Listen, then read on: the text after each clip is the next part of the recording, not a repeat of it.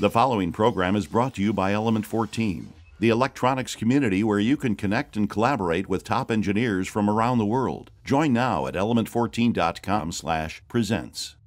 Hello and welcome back to Element 14 Presents.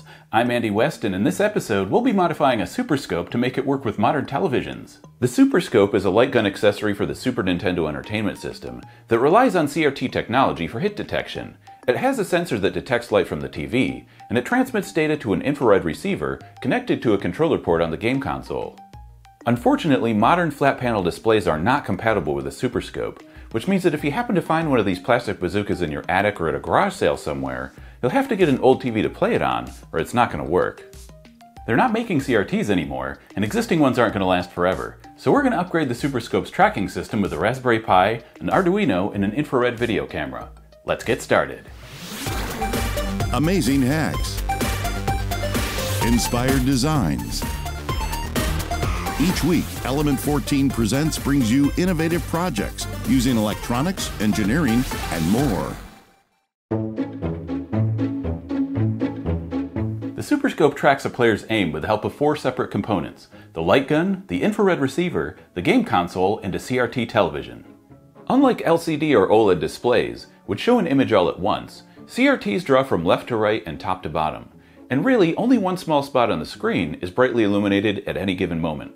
When the Super Scope is aimed at the point that's being drawn currently, then the photosensor in the gun picks up the light and sends an infrared signal to the receiver. The receiver then tells the SNES that light was detected, and the game, which knows what screen coordinates it's currently drawing, also knows that the gun is aiming at that point. So the aim is worked out by the timing of the signal sent by the Super Scope, and without a CRT drawing its image line by line, there's nothing to produce that timing. So here's my idea. First we'll turn on the infrared LEDs in the front of the gun continuously. Then we'll put small squares of infrared reflective tape on the corners of the TV that bounce the light back to the gun. That way we can avoid having to use a powered sensor bar. Inside the gun we'll place an infrared video camera that can see the reflective markers that we put on the TV. A Raspberry Pi will process the video in real time and calculate the XY coordinates that we're aiming at. Instead of the infrared receiver, we'll send the coordinates to an Arduino with a Bluetooth module. We'll also feed the composite video signal from the SNES into the Arduino. We'll use the coordinates that we got from the Super Scope, along with the composite and vertical sync, to precisely time the signal sent to the console via the controller port. Now that's a lot of information to take in all at once, but we're going to build the project step by step, and I'm going to explain everything in detail as we go. The Super Scope has infrared LEDs that send encoded information about what buttons are being pressed and whether or not the photosensor is picking up light. These ones are almost 30 years old, and I don't know what their specifications are, so I'm going to replace this board with a simpler one, along with some new LEDs, and that way I'll know the wavelength, forward voltage, and forward current. I'm using this Bakelite perf board, which is great for prototyping, because you can cut it with regular scissors. I've traced the original board to get the shape as accurate as possible. I'm going to wire the LEDs in series with a current limiting resistor, and to determine the resistor value I'm going to cheat and use an online wizard. This one can even generate a wiring diagram. Okay, here's the new board. The LEDs are spaced identically to the original, so we can continue to use this plastic cap, and I've wired it with a screw terminal type connector that lets me easily plug in a power supply for testing.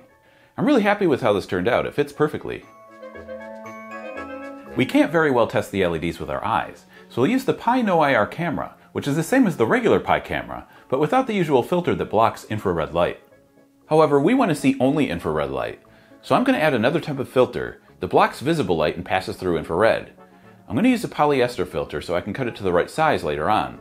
After plugging in the camera, we can preview its output with a tiny Python program. Now let's check how well the reflective tape works. The hexagonal pattern suggests that it's retroreflective, which means it reflects light back to its source regardless of the angle. For testing, I'll just place it here in the corner of my monitor. Alright, so it appears that we have a problem. The tape works okay, but my real concern is that it's not the only thing reflecting infrared. I'm getting a lot of glare straight off the monitor, and that's going to seriously complicate my video processing algorithm. I think I need to come up with a new plan. I really liked the idea of not having to use a light bar, but it didn't work out in practice, so we'll just go ahead and use LEDs on the TV itself. We'll put one LED on each corner just like we did with the tape, and that will simplify our tracking software even more. Over in Blender, I've designed an LED holder, and we'll print four of them in black PLA.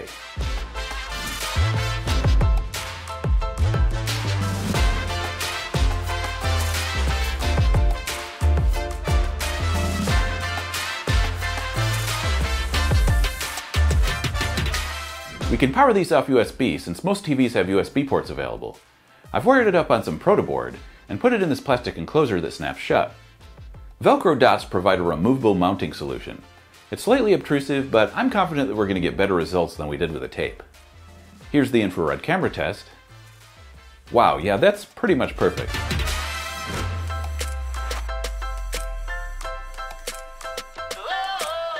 The Super Scope has a magnifying lens that projects light from a CRT onto a sensor. We don't need that lens, and in fact this is the perfect place to mount our camera. We've got this 1 inch plastic square to keep dirt out and prevent people from poking the lens with their finger. Then we've got this IR passing filter, and finally the camera. So I guess we'll print this in two parts, and create a kind of sandwich with the clear plastic and filter inside.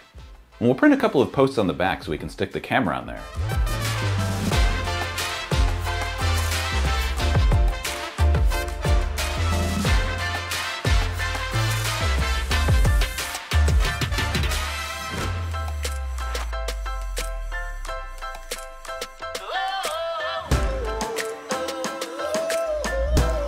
Everything fits just like it should. I'm going to use a little hot glue and press these together. And look at that, the camera just pops right on. There's room in the back of the case for the Raspberry Pi, so we'll need a long cable for the camera. I think 50 centimeters should be enough. Finally, we've secured the camera in place with some more hot glue so it doesn't rotate and give us a crooked image.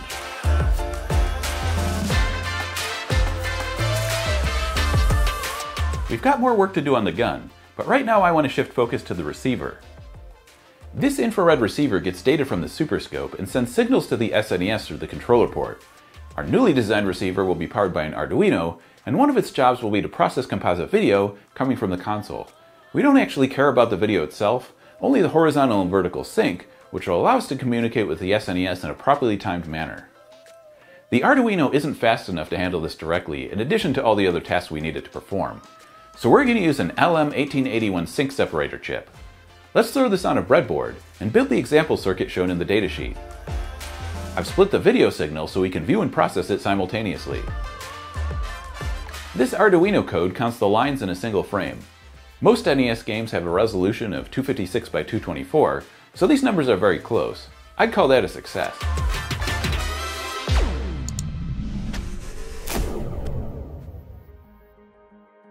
Want to build the project in this episode? Want to download the code? Find the parts list? Want to ask a specific question and know this host will answer it? Simply take out your phone and point your camera at this QR code. This will take you right to all the details you need to get started. We'll see you on the Element 14 community.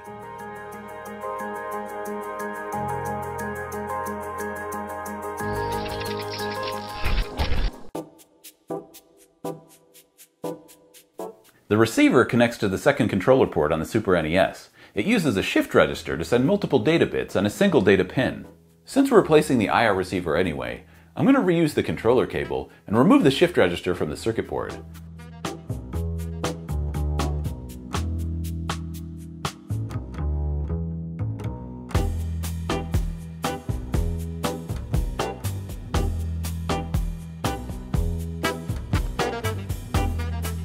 Again using the breadboard, I've wired everything up to the Arduino.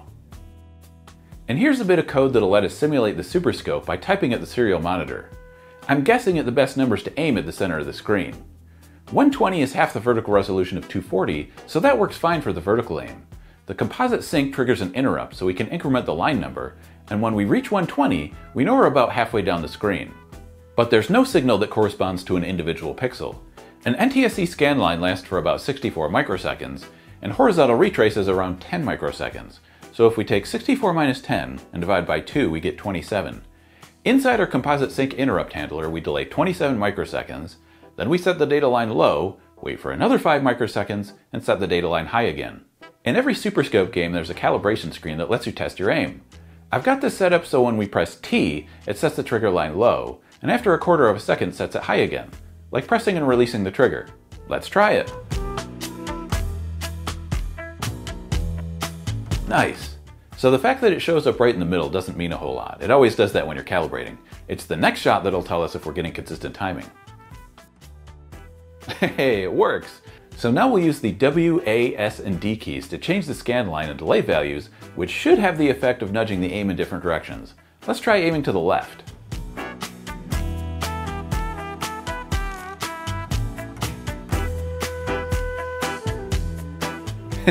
yes, we've now got the Arduino pretending to be the superscope and receiver, and by adjusting values, we can aim wherever we want. This is an HC06 Bluetooth module, and we're going to configure it to receive data from the Raspberry Pi, which has Bluetooth built in. The module uses serial communication, so after wiring it up, we'll create an Arduino sketch using software serial. This offers port flexibility and allows us to continue using the serial monitor to issue commands. The HC06 supports AT commands, and we can use them to set the password and device name, for example. For convenience, I'm going to test pairing this up in Windows. The module appears as a serial port, so we can use the free tool PuTTY to open a session and send data back and forth. Pairing with the Raspberry Pi is far more complicated. You can find detailed step-by-step -step instructions at the Element 14 community website. Fortunately, you only need to do this once. After that, our code will be able to open a connection to the module by itself. So we've got our LEDs, we've got our camera and Raspberry Pi mounted, video sync signal processing is working, and Bluetooth communication was a success. I think if we work on the gun buttons next, it'll help tie things together. There are three buttons and one three position switch wired to this board, but honestly we don't need any of these other components. We need the board because it provides structure, so I think the simplest solution here is to remove everything. Alright, I'm back, and you can see that all those extra components are now gone. We're going to use five GPIO pins on the Pi, so if we take a look at the back, we've got five wires connected to one leg of a button or switch. The other legs will be connected together and tied to 3.3 volts with a current limiting resistor. And we'll need a wire for that as well for a total of six. I've also isolated the switches by cutting some of the traces, and this is achieved by carefully scratching the copper off with a screwdriver. On the software side of things, you can see we're using the Pi's internal pull-down resistors, and the Python code here is pretty self-explanatory. Every half a second we display button statuses, and if a button is pressed, we print true. Let's see if it works. Awesome! Notice how the first two lines are actually the turbo and power on states of the power switch. Whenever turbo is true, Power on must also be true. At this point, we're wrapping things up hardware-wise. We'll start migrating our circuits off the breadboard. I discovered that you can get protoboards specifically for the Arduino so that you can make your own shield. Here it is before, and this is after. It's a lot more compact, but it needs an enclosure. I tried to make this fit in the original infrared receiver case, but for some reason the plastic they use in these is super brittle after 30 years. It's just disintegrating. There's plenty of Arduino cases out there that you can just 3D print, so that's what I've done. This is a model I found online and modified slightly with holes for the cables. I just ran some thermal tests and even with heat sinks, the Pi CPU is getting really close to 80 degrees C, which is where it starts throttling, so I'm going to add some active cooling. I've got this Pi fan which fits perfectly in the battery compartment, and I've designed and 3D printed the shroud to protect it. Now the idea is to have air flowing across the parts, so I'll drill some holes in the top of the case, and hopefully the fan will draw air in and across the chips and then blow it out at the bottom. You can see I've marked roughly where I want the holes to be. I'm going to redo this to fix the spacing, and then I'm going to use this little hand drill to actually drill the holes. And there it is! I think that's satisfactory considering that I just eyeballed it. What matters is whether or not it brings the CPU temperature down. Okay, so I ran some stress tests. Without the fan I'm getting 77 degrees and with the fan it stabilizes around 67 degrees, so this is definitely worth it in my opinion. One thing that bothered me about the original Superscope is that there's no power indicator. That's a problem now that we're using a Raspberry Pi, because we can't just cut the power without the risk of corrupting the SD card. There's this trick where you can wire an LED to the transmit pin, and it'll work to show the power status if you enable the serial port. Finally, let's add some ports for power and an external display. I'm just going to be plugging this into the wall, but it is USB-C and you could use a battery pack as long as it outputs at least 2.5 amps. I've got a couple of short extension cables that will route to the outside of the case. That worked out really well. I used some moldable glue to fill in the gaps in the end.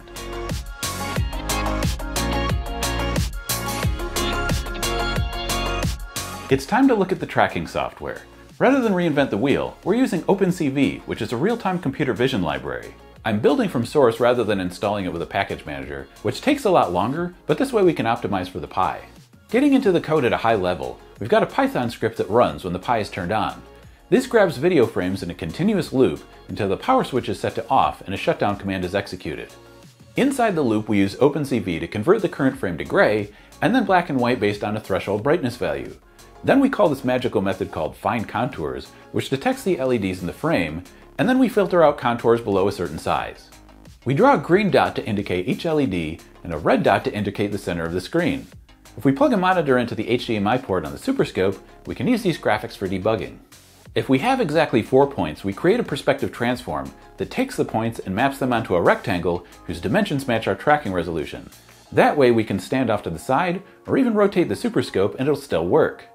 Finally, we apply the perspective transform to the coordinates at the center of the screen, and this should give us the location that we're aiming at. Then we encode and transmit the coordinates via Bluetooth using an extremely simple protocol. This is so cool. There's a little bit of lag, but I don't think it'll be a problem. It's just about time to play some games.